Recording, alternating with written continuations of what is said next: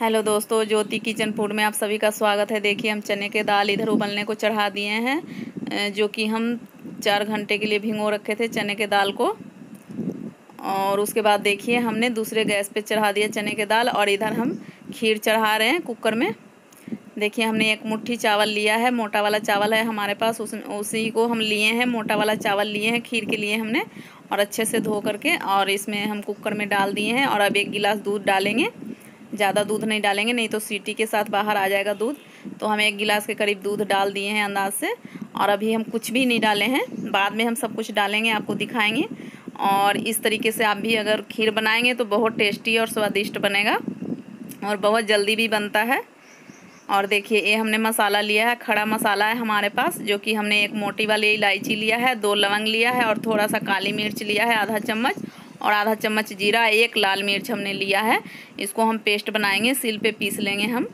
और अगर आपके पास पाउडर भी है तो डाल सकते हैं। देखिए, हमारा सोयाबीन हमने धो करके अच्छे से छान लिया है और ये हमने आलू उबाल लिया है। छोटे साइज़ का आलू है हमारे पास। ये देखिए, हमारे इधर चना दाल उबल रहा है मतलब पक रहा है। हम इसको सिर्फ़ पानी डाल के पका रहे हैं। चाहे आप कुकर में भी उबाल सकती हैं, लेकिन हम फुला दिए थे इसलिए। जल्दी उबल जाता है टाइम नहीं लगता है, फूला हुआ दाल रहता है तो बहुत जल्दी उबल जाता है। देखिए, अब हम सभी दाल को अच्छे से निकाल लेते हैं, छान लेते हैं। पानी बिल्कुल निकाल लेना है, पानी नहीं रहने देना है दाल में। और उसके बाद देखिए, हम हल्दी डालेंगे, हल्दी पाउडर, आधा चम्मच, और नमक स्वाद अनुसार डालेंगे। और इसमें हमने जो पेस्ट बनाया था मसाले को, जो खड़े मसाले हमने लिए थे, गरम मसाला, उसको हम डाल देंगे। और अभी बिल्कुल चने के दाल हमारा गरम है, क्योंकि अभी हम गैस से निकाले हैं, गैस के ऊपर से अभी हम पानी में से छान के निकाल लिए हैं तो बहुत गर्म है तो इस वजह से इसमें हम मसाला डालेंगे ताकि हमारा मसाला पक जाएगा।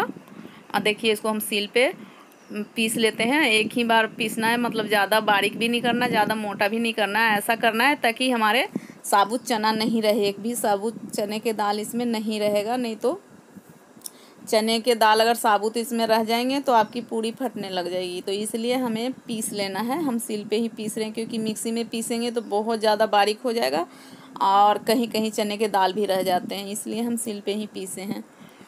और आराम से पीस जाता है, ज़्यादा टाइम नहीं लगता है क्योंकि उबला हुआ रहता है। पका हुआ रहता है तो इसलिए देखिए हमारा चने के दाल पीस के तैयार हो गया है। इधर हम कढ़ाई गैस पे रखे हैं, हमारा देखिए खीर भी बन के तैयार हो गया है। अब इसको अच्छे से और घोंट लेंगे खीर को, उसके बाद फिर हम और दूध और चीनी सब डालेंगे। देखिए हमने सारा दूध डाल दिया है। हमारा ये डेढ़ के जी दूध था, एक मुट्ठी हमने चावल लिया था, उसमें हमने डेढ़ किलो दूध डाला है। हमारा ये चार कटोरी आराम से बन जाएगा। चार लोगों के लिए बन जाएगा ये हमारा खीर। और देखिए, हमने थोड़ा सा चीनी डाला है। हमारा ये चीनी 200 ग्राम होगा, हमने ज़्यादा नहीं डाला है। और उसके बाद हम इसमें जो सूखा मावा जो है, जो ड्राई फ्रूट्स होते हैं, उसको हम डालेंगे। देखिए, ये हमारे पास खरबूजा के बीज थोड़ा सा था, दो चम्मच। हम उसको पहले थोड़ा सा घी डाल करके हमने भून लिया है खरबूजे के बीज को। इसको भी हम खीर में डालेंगे। और ये भूनने के बाद, इसके बाद हम मखाना भूनेंगे। मखाना हमने लिया है आधा कटोरी, उसको भी हम पहले भूनेंगे। थोड़ा सा घी डाल के घी डाल लेंगे कढ़ाई में, उसके बाद उसको भी थोड़ा भून लेंगे। कच्चा मखाना अच्छा नहीं लगता है, इसलिए हम भून के डालते हैं। आप चाहे कच्चा भी डाल सकती हैं, लेकिन खरबूजे के बीज कच्चा नहीं डालिएगा, क्योंकि नहीं पकता है वो।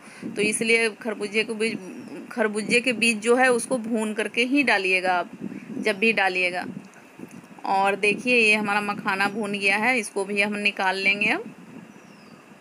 देखिए, और हमने जो हमारे पास किशमिश है थोड़ा सा एक मुट्ठी और एक मुट्ठी हमने बादाम लिया था, उसको हमने बट्टे से कूट लिया है।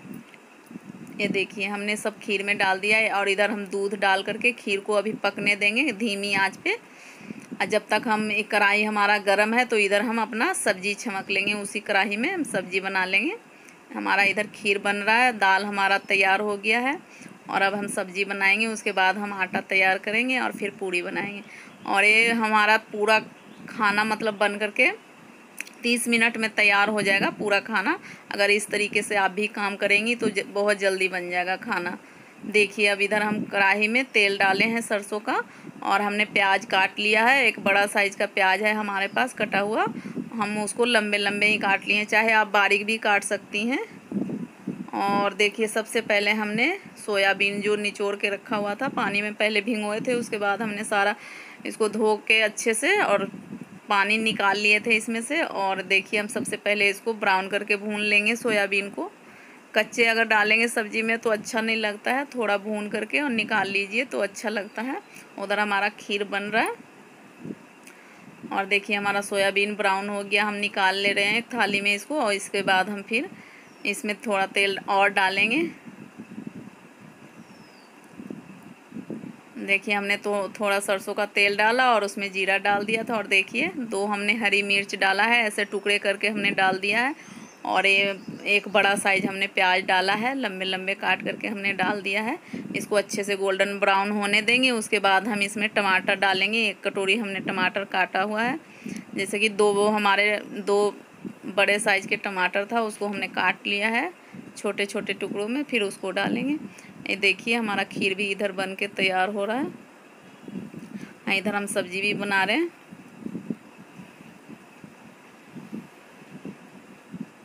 देखिए ब्राउन हो गया है प्याज। इसमें हम लहसुन और अदरक का पेस्ट डाल देते हैं।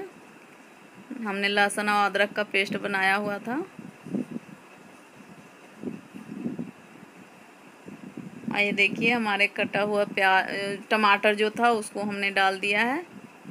एक कटोरी हमारे पास कटी हुई टमाटर थी, उसको डाल दिया है। इसको अच्छे से पकने देंगे। इसमें सब सूखी मसाला डालेंगे हम।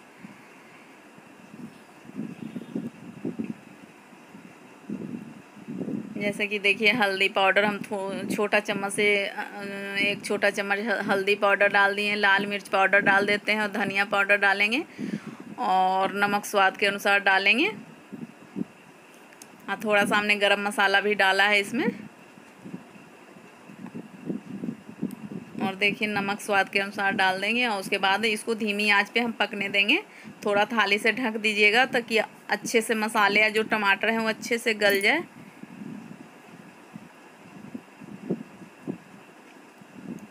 देखिए नमक स्वाद के अनुसार हमने डाल दिया है। अब इसको अच्छे से गलने देंगे। सभी मसालों को अच्छे से पका लीजिए, भून लीजिएगा। उसके बाद फिर इसमें हम जो उबली हुई आलू जो हमारे हैं, उसको हमने दो टुकड़ों में काट लिया है। उसके बाद हम इसको डालेंगे। अभी जब तक हमारा मसाला उधर भून रहा है, जब तक हम आटा गूंद करके तैयार कर लेते हैं पूड़ी बनाने के लिए, जो कि चने के दाल के पूड़ी हम बनाएँगे। हमारे तरफ़ चने के दाल का पूड़ी बनता है। और खाने में बहुत ज़्यादा टेस्टी लगता है दोस्तों। एक बार आप भी ज़रूर ट्राई करके देखिएगा। और देखिए, इधर हमारा मसाला भी भून रहा है। जब तक हम इधर आटा भी तैयार कर लेंगे गूंद के। देखिए, टमाटर गल चुकी है अब। देखिए, हमारा आटा भी इधर तैयार हो गया है। अब इसको हम रख देते हैं, अभी आटा को अलग रख देंगे, उसके बाद सब्ज़ी अभी बन जाएगा, उसके बाद हम पूड़ी बना के दिखाएँगे आप सबको। देखिए, अच्छे से मसाला भुना गया है। अब इसमें हम डाल देंगे आलू कटा हुआ। देखिए, हमारे पास छोटे साइज़ का आलू था जो कि हमने उबाल लिया है और उसको दो टुकड़ों में हमने काट लिया है आलू को। और देखिए हमने मसाले के अंदर डाल दिया है आलू और इसके ऊपर से सोयाबीन भी हम डाल देंगे इसमें।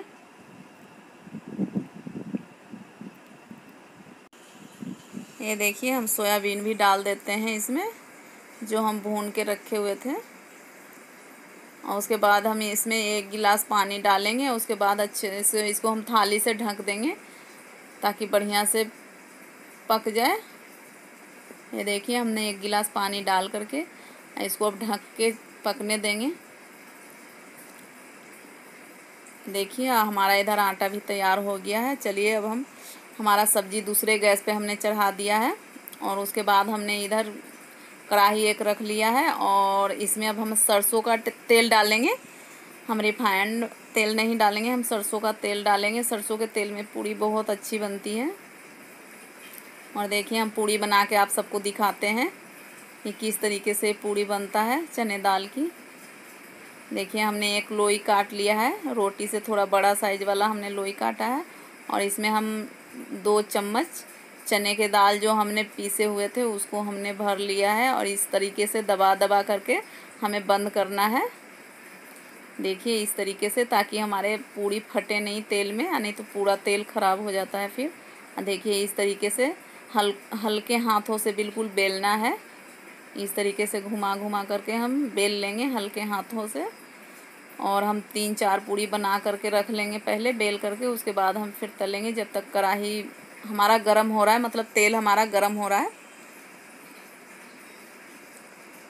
देखिए, हमने तेल अभी डाला है, पहले से कढ़ाई गर्म हो रहा था। देखिए, हम सरसों का तेल डाल दिए हैं। इधर हमारा सब्ज़ी भी बन के तैयार हो गया है, गैस अब हम बंद कर देंगे इधर का। और अब हम पूड़ी तलेंगे। देखिए, हमारा तेल गर्म हो रहा है और हम पूड़ी भी बेल लिए हैं। अब चेक कर लेते हैं पहले थोड़ा सा आटा डाल करके कि गर्म हुआ है कि नहीं। हो गया है गर्म। देखिए, हमने पूड़ी को भी डाल दिया है इसमें और इसको गोल्डन ब्राउन होने तक हम पूड़ी को तलेंगे। सरसों का तेल है, इसलिए पीला पीला दिख रहा है पूड़ी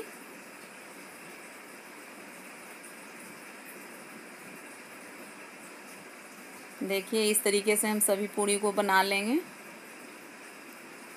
देखिए, हमारा ये पूड़ी बनके तैयार है, खीर पूड़ी और आलू और सोयाबीन की सब्ज़ी। हमने बहुत कम समय में बनाया है। अगर वीडियो अच्छे लगे तो लाइक, शेयर, सब्सक्राइब ज़रूर कीजिएगा। धन्यवाद।